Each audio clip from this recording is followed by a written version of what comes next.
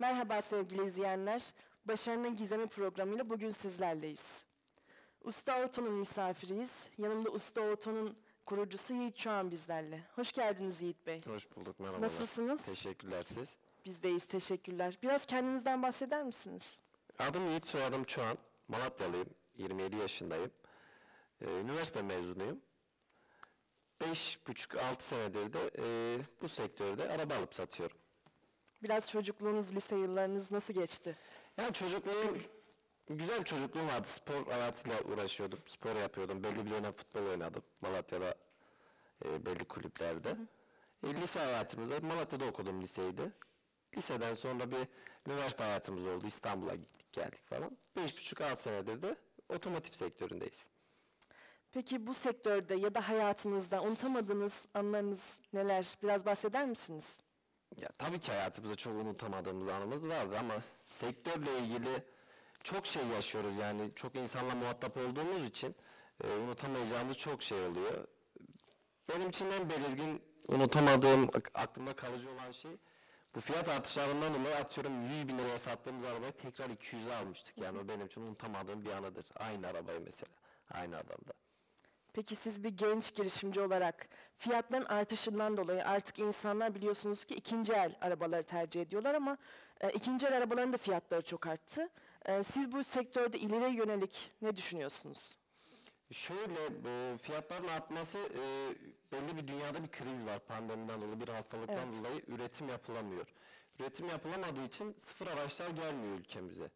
E, bu sebeple de ikinci el araç fiyatları fazlasıyla artıyor.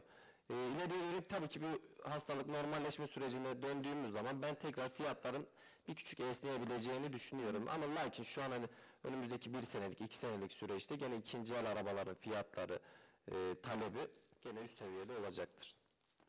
Peki genelde sizden araç alanlar hangi sınıf araçları tercih ediyorlar? Ya yaşadığımız şehirle alakalı bu durum. Tabii ki bir, Türkiye'nin birçok şehrine araba satıyoruz ama ülkemizde e, belli gelirde olan insanlar var. E, herkesin bir alım gücü oluyor. Atıyorum hani az kazanan da ona göre bütçesine göre araba alıyor. Çok kazanan da ona göre araba alıyor. Ama bizim hani belli bir müşteri portföyümüz var tabii ki. Hani genelde ailelerin tercih ettiği e, aile tipi arabalar, sedan arabalar. Buna D segmenti dediğimiz arabalar tercih ediliyor. E, en çok otomatik mi, manuel mi tercih ediliyor? Ya tabii 2021 yılındayız. Hani teknoloji de çok arttığı için kimse artık manuel araba almıyor. Evet. Yani genelde otomatik arabalar tabii ki daha fazla tercih Özellikle ediliyor. kadın müşterilerinizin Kesinlikle tercihi yani. herhalde Artık otomatik. e, bayan sürücüler de çoğaldığı için Evet. biz de genelde otomatik araçlara yöneliyoruz ki satışı bizim için de kolay olsun. İnsanlar için e, çünkü talebi çok yüksek otomatik araçların. Peki hangi yakıt türündeki araçları tercih ediyorlar genelde? Benzin, LPG. Bu aslında Güzel. müşterinin, araç sürücüsünün, binicinin e, gelir kaynağıyla alakalı. Bazı insanlar var mesela e, dizel araçlar çok yüksek fiyatta olduğu için evet yakıtı az ama arabalar pahalı olduğu için benzinli arabalara, LPG'li arabalara yöneliyorlar. Ama bazı insanlar dizel arabalara binebiliyorlar pahalı olmasına rağmen yakıtı az oluyor. Bu insanların gelir kaynağıyla alakalı. Yani biri kafasında ben şu araba benzinli falan filan veya bu araba dizel diye almıyor. Adamın durumuyla alakalı, maddi kay- geliriyle alakalı bu. Uzun süredir siz de biliyorsunuz ki pandemi aslında hemen hemen her sektörü etkiledi. Peki Covid-19 bu sektörü nasıl etkiledi? Ya tabii ki bir önce de söylediğim gibi bizim sektörümüzü e, çok etkiledi. Sirkülasyon azaldı, insanlar evinden çıkamadı. E, fiyatlarda inanılmaz bir artış oldu sıfır araba krizinden dolayı. Evet bizi etkiledi. E, insanlar önceden mesela arıp geliyorlardı şehir dışına. Şimdi hastalıktan oldu. Art, uçağa binemiyor, otobüse binemiyor vesaire korkuyorlar. E, normal bir süreç bu tabii ki. Yani bu da bizim işimizi benim düşüncem kötü yönde etkiledi. Fiyatlar çok arttı. Kriz oldu. Sıfır araba çıkmadı yani. Bir önce verdiğim örnek gibi 100'e sattığımız arabayı tekrar 200'e aldık yani. Etkisi bizim sektörde benim kendi düşüncem kötü etkiledi bizi. Yani fiyatların artması insanlar küçüldüler. E, atıyorum bir arabası, iki arabası tek arabaya düştü fiyatlar artınca. Evet. Küçülttü. Bizim sektörü bayağı etkiledi yani. Araçları alıp satarken özellikle ikinci el araçlar için az önce pandemide demişken araçları nasıl dezenfekte ediyorsunuz? Şimdi şöyle biz e, şehir dışından veya atıyorum birinden araba aldığımız zaman araç zaten e, galeriye gelir gelmez belli bir temizlik süreci oluyor bu aracın. iç kuaförü yapılıyor, diş pasta cilası yapılıyor vesaire. Bu pandemi döneminde de araçlar buraya gelirken ilk önce temizliğinden önce biz bir dezenfekte ediyoruz araçları. İç, dış, işte insanların elinin değebileceği her yeri dezenfekte ediyoruz. Ondan sonra normal rutin temizliği yapılıyor aracın. Sonra tekrar dükkanın tezgahına girmeden önce bir kez daha dezenfekte ediyoruz arabaları. Ha, Bunun için ilaçları var zaten biliyorsunuz. Hani Evet, dezenfekte hı hı. ediyoruz falan. Öyle.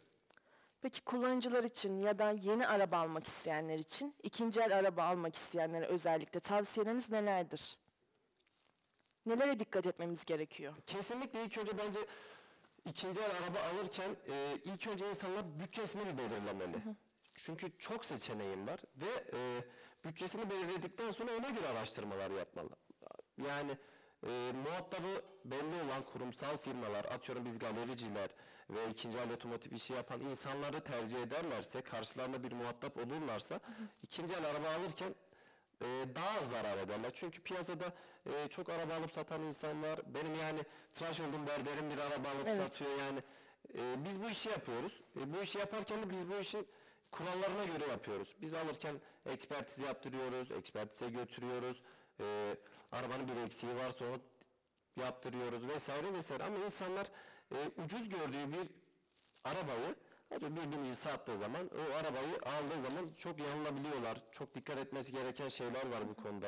Kilometreler, boyalı değişen parçalar, motor arızaları vesaire. Hani muhatapların olabileceği birinden araba alırlarsa eğer e, daha başarılı olurlar. Evet.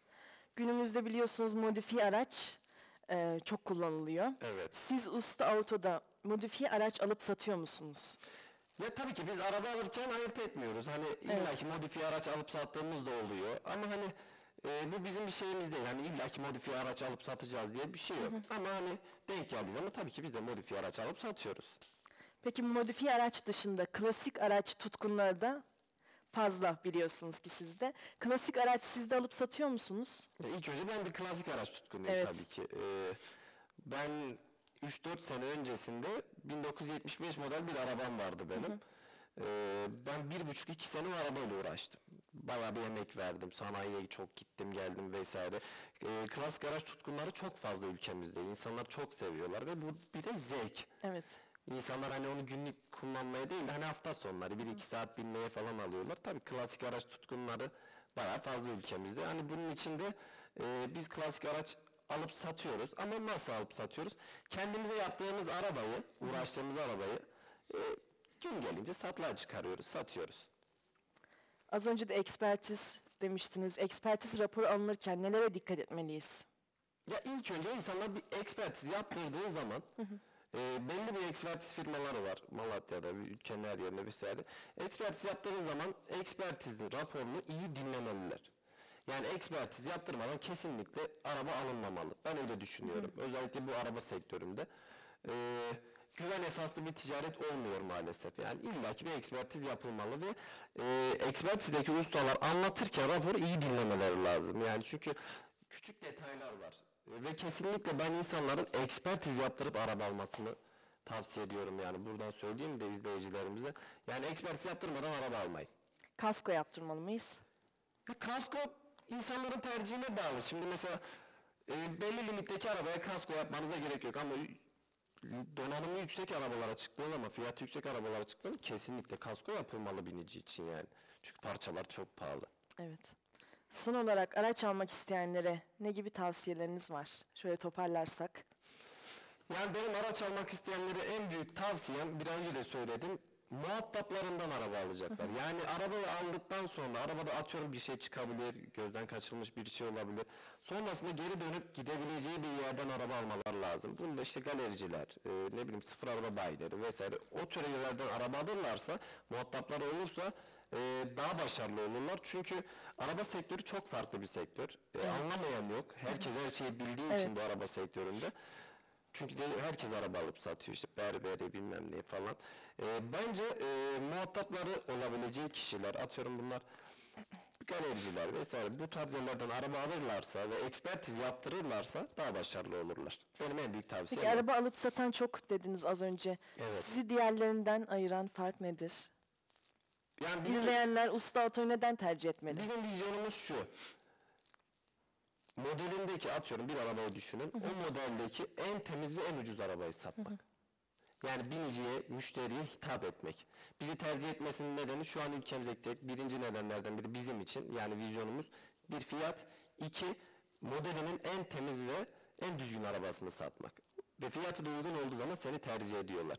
Yani güven üstüne kurulu Kesinlikle. diyebiliriz. Yani e, dışarıdan biri geldiği zaman buradan boş gitmemeli veya biri buraya geldiği zaman gördü evet araba internetteki gibi yayınlandığı gibi öyle demeli bizim için. Bu bizim için yeterli. Peki Yiğit Bey, müşterileriniz size nasıl ulaşıyor? E, bunun için gerekli internet siteleri var. E, bizim kendi kullandığımız e, internet sayfamız var ve sosyal medya hesaplarını kullanıyoruz. E, gerekli bir de e, alım satım işinde faaliyet gösteren e, internet siteleri var, sayfalar var. Oralarda araçlarımızı paylaşıyoruz. Mevki olarak, kurumunuz tam olarak nerede?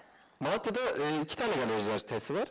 Bizim galericiler sitemiz Yakınca'da, Yakınca mahallesinde Malatya'da Yeni Adıyaman yolu üzerinde. Evet.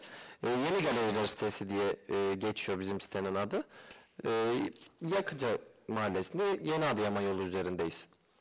Bu sektörü ter- tercih etmenizdeki en büyük etken nedir? E, ben küçüklükten beri arabaları çok severim. Yani belli bir dönemde e, akrabalarım yaptığı arabalarla ilgili belli işler vardı. Çocukken bana onların yanına çok giderdim. Çok bir hevesti benim için yani. Arabalardan böyle küçüklükten işte ilgilenmeye başladık. Direksiyonla falan oturuyorduk. E, o zamandan geliyor küçüklükten beri e, bu zamana kadar da geldik çok şükür. Peki şirketinizde işlerinizi tek başına mı yürütüyorsunuz? Evet ben tek başıma yürütüyorum işlerimi. Yanımda tabii ki böyle bir ekip arkadaşlarım var. E, onlarla beraber e, yapılması gereken ne varsa gidiyoruz, alıyoruz. Onlar gidiyor, ben gidiyorum. sa- Ben satıyorum, onlar gidip satıyorlar. E, yani bir birlik halindeyiz burada. E, Tek başına zaten bir iş yürütmen çok zor. Yanında Evet. yani güveneceğin insanlar olmazsa olmuyor. E, ama genel anlamda tekiz tabii ki. Peki bir genç girişimci olarak en büyük destekçiniz kim? Ya tabii ki en büyük destekçimiz ailemiz. Ee, ben bu işe girerken benim babam hiçbir şekilde bana hani oğlum şöyle yaparsan böyle yaparsan daha çok para kazanırsın falan filan. Benim babam ilk açtığım zaman bana sadece dürüst ol.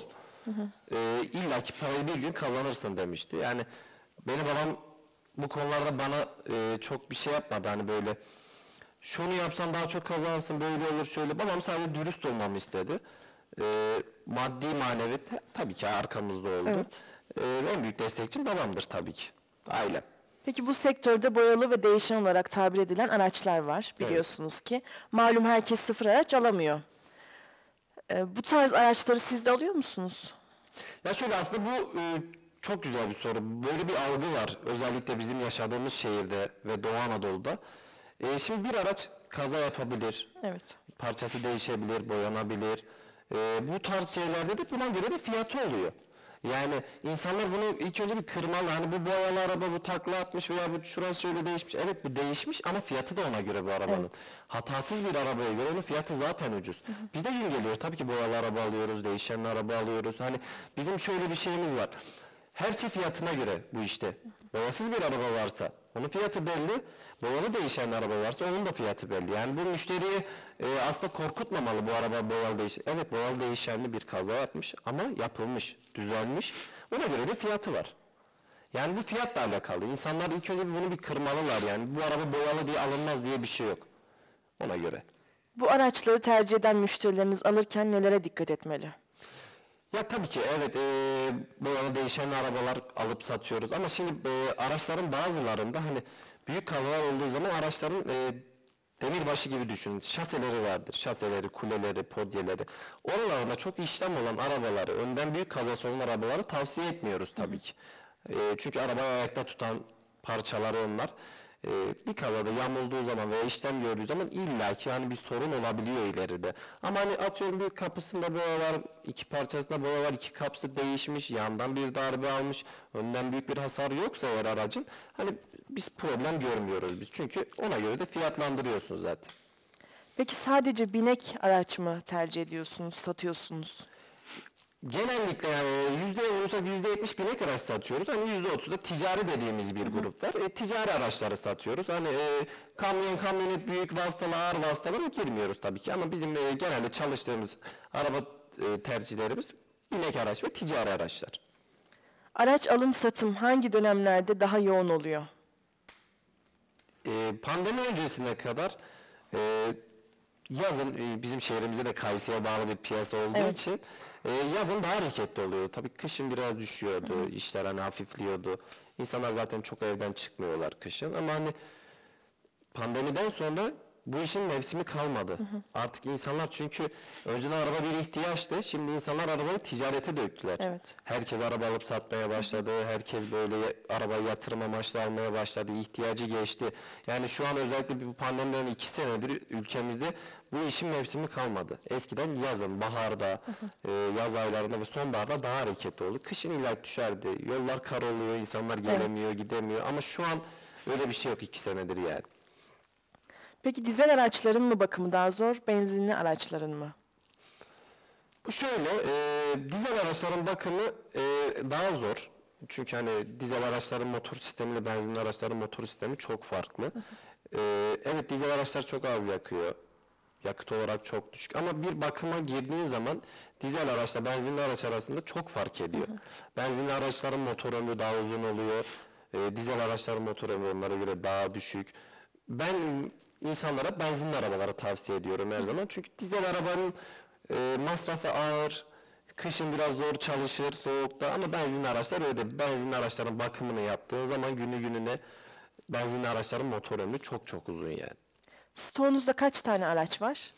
Ya bu değişiyor aslında işin hareketliliğine göre. Gün geliyor 5 arabayla çalışıyoruz. Gün geliyor 15 arabayla çalışıyoruz. Yani ortalama e, Malatya standartları içinde 8-9 araba, 10-12 araba yani bu şekilde çalışıyoruz. Bazen araba bulamıyoruz. Bazen bir haftada çok araba sattığımız oluyor. E, bu işin hareketliliğine bağlı aslında ama gene biz ortalama 7-8-9 arabanın altına düşürmemeye çalışıyoruz. E, bizim şehrimiz içinde bu yeterli bir sayı. Peki Yiğit Bey bir galerici olarak sizin de kendinize ait şahsi bindiğiniz bir arabanız var mı? Ya bu soruyu çok duyuyorum etrafımdaki insanlardan falan. Ee, ben şuna inanıyorum. Bir galericinin bindiği araba olmaz. Çünkü biz kendimize binmeye araba değil, satmaya araba alıyoruz. Evet. Evet bindiğimiz araba da oluyor illaki biri 3 gün, 5 gün, 1 ay satamadığımız. Ama hani öyle atıyorum ben şu marka modeli aldım, buna binmeye aldım falan. Bizde öyle bir şey yok. Mesela bir gün bir arabaya biniyorsak onu satana kadar ona biniyoruz, sigortasını yapıyoruz. Evet. O satılıyor. Başka arabaya geçiyoruz. Hani öyle şu araba benim buna binmeye aldım falan yani öyle bir mantığımız yok. E, Bence de olmamalı. Çünkü biz galericiyiz. Bizde çeşit çeşit arabalar var. E, her gün birine de binmiyoruz. Birine biniyoruz. Satıldı mı diğerine biniyoruz. Yani böyle e, bir şeyimiz yok yani. Şu benim arabam şu motor olsun, hızlı gitsin, şöyle güzel olsun falan. Yok yani. Fark etmiyor. 50 bin TL'lik arabaya da bindiğimiz oluyor. 100 binlik TL'ye de 200'e de. Yani bu e, sınıflandırmıyoruz bunu. Yani Ama ne sabit olursa. bir arama, arabanız olmuyor. Sabit bir arabamız olmuyor yani. Sattığımız arabalara biniyoruz. Yani çok her gün her gün birine binmiyoruz. Bir arabamıza sigorta yapıyoruz. Onu satılana kadar ona biniyoruz. Onu satıldıktan sonra yeni bir araba alırsak veya dükkanda başka araba varsa ona biniyoruz. Yani öyle sabit bir arabamız yok. Sizin gözünüzde artık toparlarsak son olarak galericilik nedir? Galericilik. eee, benim dükkanı açmadan önce çok sevdiğim bir arkadaşım babası var Orhan amca. Bir gün onunla oturuyorduk çarşıda. Eee o çok güzel bir şey sormuş bana. Yiğit dedi sen şimdi galericilik yapmayı falan düşünüyor Galericilik nedir falan filan dedi. Ben de bir cevap verdim ona. Orhan amcanın cevabından aslında bir feyiz aldım. Benim gözümde de galericilik yoktu. Onun verdiği cevap beni çok tatmin etmişti. İkinci el kullanılmış, yıpranmış arabayı alıp uygun fiyata alıyorsun tabii ki bu yıpranmış arabayı. Tertemiz bir hale getirip sağını, solunu, motorunu, lastiğini her şeyini yaptırıp müşteriye sunmak. Benim gözümde galericilik budur yani. Hazır bir yapılmış araba alıp satmak değil. İkinci el arabayı insanların tercih etmesinin nedeni tabii ki sıfıra göre daha ucuz olması. Biz de İkinci el yıpranmış arabayı alıyoruz, temize çıkarıyoruz.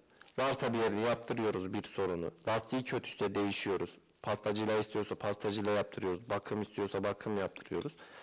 En temiz hale çıkarıp müşteriye sunmak. Bizim yani galericilikteki hedefimiz ve galericiliğin anlamı bizim gözümüzde bu. Yani ben böyle düşünüyorum. Benim gözümde galericilik bu. Yoksa hazır bir araba almak, yeni bir araba almak, kolay. Ama mevzu buradaki en kritik nokta ikinci el arabayı alırken yıpranmış arabayı alıp temize çıkarıp müşteriye Evet. sunmak. Yani bizim galericilik dedim benim aklıma gelen şey bu. Artık insanları bilemiyorum tabii ki. Çok teşekkür ederiz. Ben teşekkür ederim. Kıymetli vaktinizi ayırdığınız teşekkür için. ederim. Ayağınıza sağlık. Sağ olun. Bugünlük programımızın sonuna geldik. Bir sonraki Başarının Gizemi programında görüşmek üzere. Kendinize iyi bakın.